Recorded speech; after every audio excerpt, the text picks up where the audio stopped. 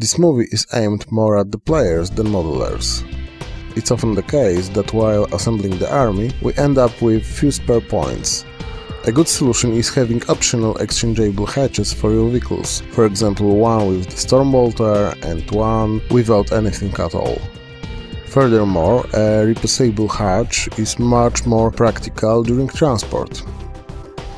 We begin by trimming a piece of frame to fit the socket for the hatch. We glue this piece to the lower edge of the hatch and wait for the glue to set properly. We dry fit the frame to the socket and mark where we need to make the holes.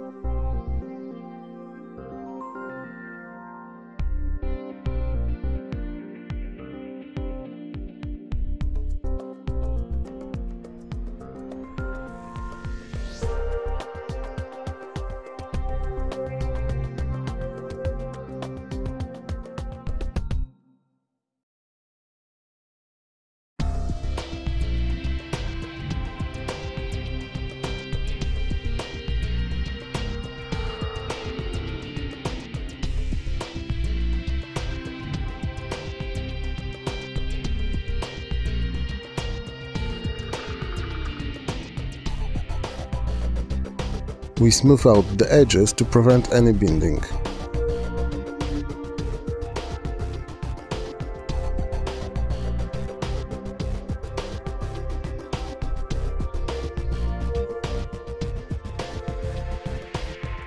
It's time to cut the grooves in the extra piece we glued on. You can use a file or Dremel tool.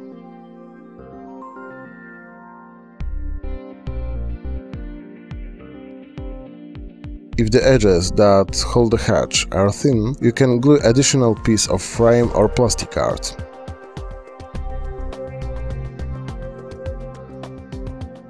It's done, the transporter has exchangeable hatches now.